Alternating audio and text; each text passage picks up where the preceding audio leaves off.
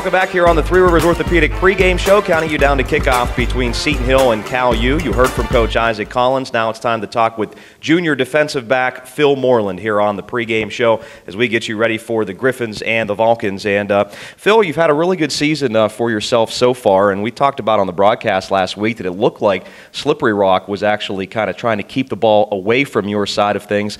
Was that the case last week? And kind of talk about your season up to date. Again, had a pretty good one. Yeah, I think ever since the Lock Haven game, the Lock Haven game was really like my breakout game. Ever since that game, teams haven't really been trying to throw me the ball. But that's really like my goal, though. I try to like make teams scared to throw me the ball when they watch film. And it's your individual goal, but then that helps out the defense because it gives the offense one less option, right? You Right. kind of If- take away that side of the field.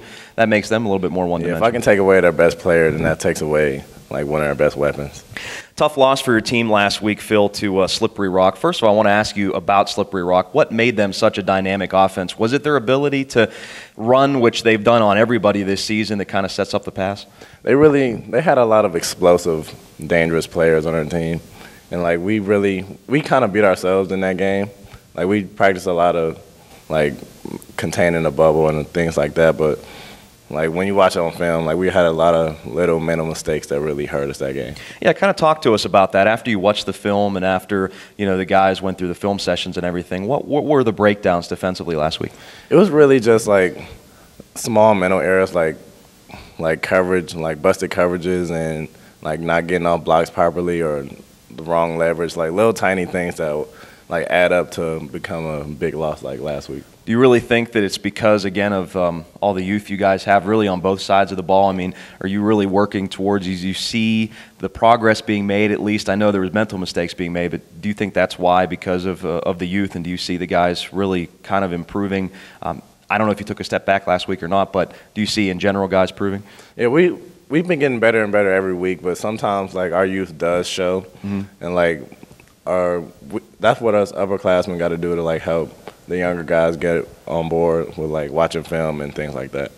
Uh, a couple of real tough losses to Slippery Rock and to West Chester against two of um, really the best teams uh, in the country, both ranked in the top 25. Uh, has to be tough on the team. What's the confidence like coming into tonight against uh, today against Cal U? Like again, like we know we beat ourselves in those two games. So like we really control our own destiny. So if we like go hard in practice, we had a really good week in practice this week. Mm-hmm. So if we go really hard in practice and watch film and do all the little things, if we correct all those little things, we'll be a really good team. As you mentioned, uh, one of the upperclassmen on this team, I want to ask you what type of role you take in making sure the confidence level and everybody's doing what they're supposed to be doing. Because, again, this is a young team, and I know that you guys want to win more than anything, but you are still building this program with Coach Collins here in his second year. You guys still trying to turn things around and those types of things. So um, I know wins are very important, but it's also very important to improve each week, isn't it? Yes, like I've been I've been a starter since my freshman year, so I try to use all my experience to help the younger guys and even the new guys that's coming in to help them like do what they do what they got to do, learn the plays, learn the little things in the game that will like really change how you play. Talk about your game. I know we already did a little bit, but um, right now you're tied for tops in the PSAC and, and uh, breaking up passes. Um, talk about what uh, got you so ready for the season and just how your season's going so far. Well, I had a really good summer working. I worked really hard this summer, and I've been doing a lot better with watching film. Instead of like just watching like what plays they run, I really study each receiver. So when I go into the game, I can look at the receiver and like be able to tell what route he's about to run like every play. And doesn't that show? I mean, from a freshman from where you were before, and just a couple of years later to a junior, I'm sure you have to feel that you've learned a lot and feel a lot better than you did as a freshman, don't you? Yes, all my experience. I use all my experience from each year to help me get better and better. That's why I used to work out this summer. Like I knew I need to work on work on speed, work on some of my breaks. So I really worked on a lot of those things this summer. I got to ask you about some of the other younger guys in the secondary with you uh, Otis Williams, Josh Valatovich, uh, Tanilius Walton, Ricardo Hausen, and some of the other guys. Talk about how some of those guys are really um, you know, stepping up this year. Josh is really among the leaders in the PSAC and, and you know, getting fumble recoveries and interceptions and those. He's always around the ball. Nice to see him healthy this year. And, and some of the other guys, one of the things you guys have been able to do the last couple of years is force turnovers.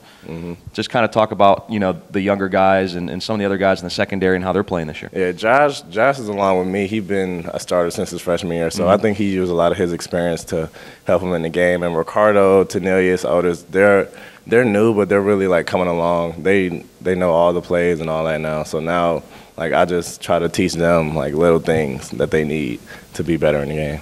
Phil, I got to take you off the field here for uh, for just a second. What got you into playing football? You come to Seton Hill from Cleveland Heights, Ohio, a couple of years ago. What got you into playing football in Cleveland Heights? Well, I started playing football in the seventh grade. Yeah, the seventh grade, I believe. And like ever since then, I just fell in love with playing football. So like about 10th grade, that's when I realized like I really want to play college football. So I worked really hard throughout my high school career, and I got my grades right. I did everything I was supposed to do to get to where I am now. What position? Did you play offense too in, in high school? No, like? I didn't. I never really like offense. No, just defense. Period. Yeah, huh? I, don't, I don't like offensive players, offensive plays, anything like that. So you, I've been because you get to hit people as opposed yeah. to yeah. So like I've been playing defense, all defense since about like ninth grade. Well, you know they say the reason you know uh, uh, what do they say? Receivers are uh, on defense; they're defensive backs because they can't catch the ball on offense. Yeah, I got that saying though, goes. even though I do have a couple drop picks this year, like I do have hands. Yeah, like I'm gonna, I'm gonna get a couple in the You're, next couple weeks. All right, all right. I like that. I like that guarantee. Uh, what's your pregame routine like? What do you do on game day? What gets you ready? Well, usually I'm the guy that doesn't talk to anybody before the game. I usually have my headphones on. I'm just walking around, making sure everybody's ready. I make sure I say a prayer to myself mm-hmm. before the games, and I just pray for my family, my friends, my teammates, all that, and then that really gets me pumped for the game. With this being your junior year, again, you've been here for the last three years. Now your second year under Coach Collins. Is it? Do you notice the the, the program moving forward? I mean, do you notice a big difference in, in Seton Hill football, even from last year to this year? It's a huge difference from my first, second, and third year. Like mm-hmm. the coaches, um, my freshman year, this coaching staff was a very, very big step. Mm-hmm. And then even from last year to this year, we've made a couple changes. Coaches um, really instilled in us like what we need to do on and off the field. So like we we made a really big jump. And you guys see the bigger goal coming at the at the end. Yeah, like I've seen like our team get better every mm-hmm. year, like from freshman, sophomore, and junior year, and we we're going to get a lot better in the years to come too. Well, before I ask you about Cal U, uh, what are you majoring in? What's your plans after after college? I know you still have still have some time here, yeah. but what, what, are you majoring in? and What are your plans? I'm an engineering major, uh-huh. and at Seton Hill is a three-two program, so I do um, three years here and two years at another school. But okay. I'm going to do three and a half, so I can play four years of football, mm-hmm. and then finish my engineering degree somewhere else. Do you have an idea where you'd like to go after Seton Hill? I yet? might end up going back to Cleveland. Oh, there you go, go to Cleveland State, but that's in the years ahead. I still got football to worry about right now. Do you have any thoughts on LeBron coming back to Cleveland? Any thoughts on that? That was one of the most exciting things. Yeah, I'm sure was from last summer. But yeah, yeah, the whole city's really excited that our basketball team and all the other sports really are like coming up. Were you one of the ones that like burned his jersey when he left for Miami? I was. You still you still yeah, liked him? It wasn't that serious. Yeah. But like it's just a guy. But yeah. now that he's back, I like him again. Yeah, yeah, you like him again.